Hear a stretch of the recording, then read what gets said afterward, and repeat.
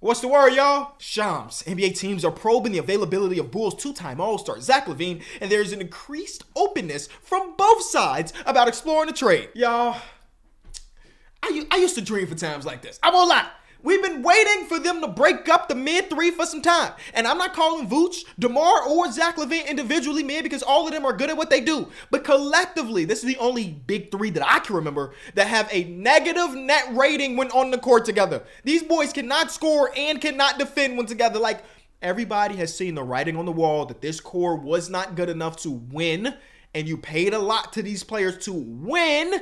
Everybody saw it happening except for the front office, and it feels as though they're starting to realize. Over the offseason, uh, there was a lot of rumors about the Chicago Bulls calling other general managers trying to figure out what the value of Zach LaVine was. And they always said, no, that's not true. Those rumors are not true. But Zach LaVine, in his first press conference of the year, he said, where there's smoke, there's fire. Obviously, hearing that the Bulls are are really testing his market and so on and so forth. So he has become increasingly irritated with the trade, uh, I guess, rumors and the fact that the Bulls can't can't win. Until a couple years ago when they made the playoffs against Milwaukee Bucks, he was the oldest player in the league with no playoff appearance. And he did that. But obviously, Zach maybe wants a little bit more, and the Bulls are looking to make changes. The one thing about this, when I read this article, when Shams put together an article, it was like two paragraphs. You know what I'm saying? It makes me feel as though they're not doing a rebuild, but instead they're going to try to retool, trade Zach LaVine for whatever pieces, and keep it DeMar and to keep in Nikola Vucevic. I personally don't love that idea. I feel like in order to get the full value of this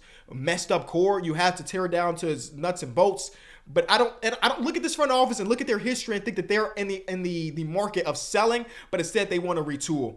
And because that that scares me. But what I do like what, what what I what I do like is that these other teams across the association, the other fans of teams across the association, drawing up their own trades because a lot of people interested in Zach LaVine's talents because he is an extremely extremely talented scorer. He can score with the best of them, um, and and I believe there's a lot of teams that could definitely use his service. It's about what are the Bulls prioritizing uh, because we don't really know. This is this is an organization that has kept their cards close to their chest. They don't really tell you what they're thinking, and when they do tell you, they're typically lying to you. So uh, I'm a little bit afraid because this offseason they told us, hey, our three point uh, frequency and efficiency is going to be really good this year. It's not that. And if we're trading Zach LaVine away to retool, he's the one player that gets up three point attempts. So it's like, what are we what are we doing? Are we just gonna go back to 2005 and just do all mid range jump shots without Zach LaVine here? I don't I don't know. It's a little bit scary, but it's like the exciting kind of scary. Uh, you know what I'm saying? I got a little bit of anxiety thinking about Zach LaVine getting traded because I feel like once that notification hits of he's getting traded, I'm not gonna initially like the trade. Let's be real. I think that's how we all are when you see one of your favorite players get traded.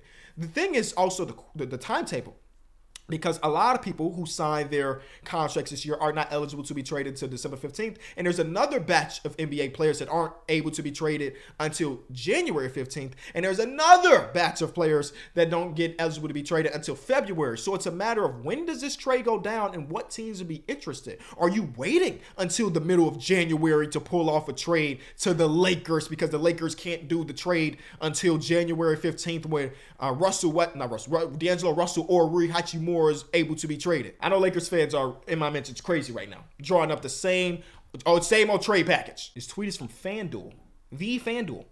Zach LaVine and Alex Caruso for D'Angelo Russell, Rui Hachimura, Taurean Prince, Jalen Hood-Schifino, one first round pick. Get out of here with that. Get out of here with that.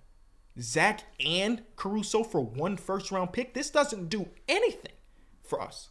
In 2029, this is not a trade you could look at your your your fan base and say, we won this trade because you're not going to. Because Alex Caruso is that good of a player that him himself warrants at least a first round pick. And we should be able to at least get a pick for Zach LaVine as well.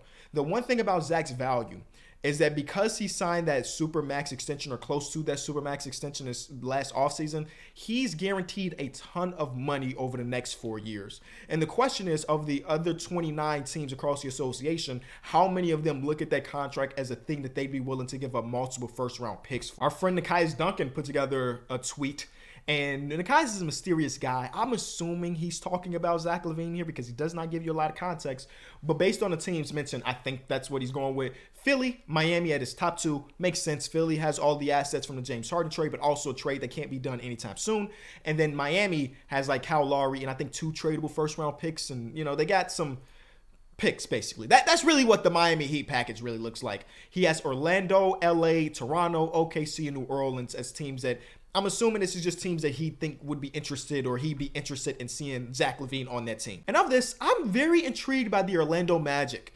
Not because I look at their rosters like, oh, we want this piece, this piece, but like for them, Half court offense, half court shooting in general has been a struggle. Zach LaVine provides a lot of the things that they would need. Like when Buddy Hield was rumored to be traded a couple months ago, I was like, oh, Orlando needs to be a team that's picking up the phone because they just need shooting. They have not had shooting so far in the Paolo Banchero era, and Zach LaVine is a shooter. He's getting up seven to eight a game at good efficiency, and he just comes in immediately and adds some backcourt scoring, which they don't have. Now, the question is for Orlando, what do you give up? Do the Bulls want to make another trade with Orlando after they finessed them last time, maybe I, I would be a little bit, little bit hesitant about that. But I got my players on the Orlando Magic roster I would be interested in. I just don't think they'd be interested in trading them away in the Zach LaVine trade. That's why I'm not going to build my own Zach LaVine trades because I think no matter what I do, it's going to be hard to put my biases aside, even if they're like subconscious, I guess.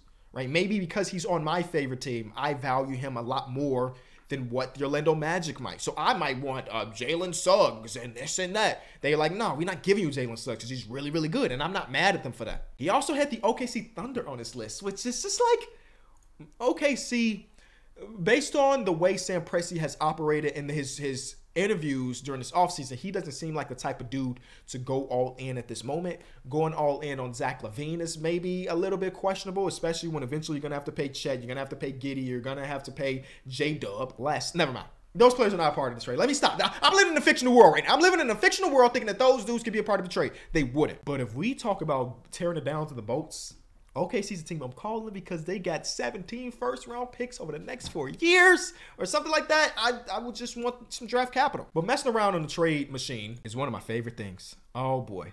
Like what what okay, so give us Davis Bertans for money matching. Yikes. Everybody else is making no money on their team. Uh give we want Poku and Ousmane Dieng so we can not develop more talent here in Chicago. Financially, nope. See, yeah, how do we get there? I don't think we do. The Pelicans is oh, the Pelicans are interesting because you see Zion's comments the other day that he's trying to buy in and so on, and the Brandon Ingram's taking shots at Zion about people getting back on defense and not complaining to the referees. How do we get there? I don't. I don't know. I don't know either. I'm just saying that there are a lot of teams that might be interested in Zach. I just hope that we don't lose the trade. Whatever that means. I just hope we don't lose the trade. I wonder if there's going to be like a surprise thing, like a whoa. Um, I saw a tweet on Twitter that because that's where tweets exist um, about the Detroit Pistons being interested, um, Zach LaVine has famously scored a million points in Detroit. I don't think they would be buying with the record of two and eight. But as a team that needs some also shooting and some scoring, Zach LaVine could provide that. He'd also be taking a, a back step as far as like his aspirations to be a part of a competent like championship worthy team or at least a playoff worthy team because that that trade a, a, potential trade like that doesn't turn the Detroit Pistons to a playoff team like that like what if I'm just thinking about teams that have big contracts. What if the Charlotte Hornets got involved? Another team that should be buying. What with, with the Gordon Hayward contract? What if the Warriors got involved? Are we talking? I'm living in a fictional world. I don't know. I don't know. I just I feel like a lot of people are looking at Philly and a lot of people are looking at Miami because those are the teams that traditionally have bought players like this or have like the James Harden assets. And like that's the teams that are gonna be interested in the Lakers, obviously, because of their history. But I would rather, no, no doubt, I would rather them pull off the mysterious, you know, the mysterious out of nowhere move. Is New York interested? New York been trying to get Donovan. They're probably waiting on Donovan Mitchell. They're probably waiting on Donovan Mitchell. I would wait on Donovan Mitchell if I'm the New York Knicks because who knows what's going on in Cleveland and, and Donovan Mitchell with all the rumors surrounding him and his uh, his way of loving New York. This is this is just bull centric. Okay, so you got this one from Shams. The, all of these tweets are bull centric. The Chicago Bulls um, might be on the verge of blowing it up. One league source told me this week the Bulls won't have the same roster in a month changes feel imminent, but that can mean just one move. That doesn't necessarily mean blowing it up. Shout out to Darnell Mayberry. The next one is just Patrick Williams. What's the opposite of propaganda? What's the opposite of propaganda? Don't be disrespecting my, my guy, Patrick. All right. The next one is I'm told the Sixers like their depth and have uh and they have what they like the depth they have now, and the Bulls high salary players may not fit. Perfect.